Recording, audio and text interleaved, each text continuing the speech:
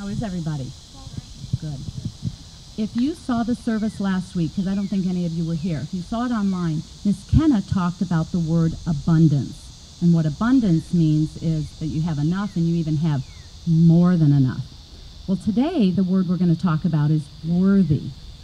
And Paul, in our scripture just now, talked a little bit about being worthy. But just by virtue of the fact that you are born and a child of God, we're all, every single person sitting here is worthy. But there's some things that you can think about. Have you ever been uh, watching a sun rise really early in the morning and how spectacular that is? That's something that's pretty worthy, right? A lot. And a sunset at night when you see the sun going down.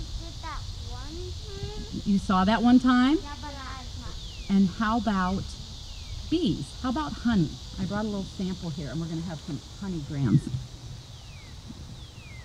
Bees make honey, wherever my honey is. Got all stuff. Bees make honey, and they pollinate our plants. And I think we could all say that they're worthy. They're a good creation. And I was reading, and I found a picture of a plant. Maybe you have this in your yard. It's called foxglove. And it's pretty. It's purple. It has pretty purple flowers. But did you know that somebody realized that you could make a medicine that would help people's heart from this beautiful plant that God gave us?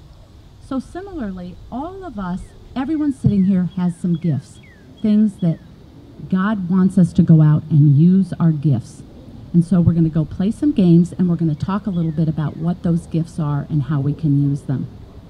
Will you bow your heads and pray with me? Dear God, we thank you for this beautiful day. We thank you for sunrises and sunsets and bees. And we thank you for these children who are truly your creation and worthy of praise. Be with us as we go and have our lesson. In Jesus' name we pray. Amen.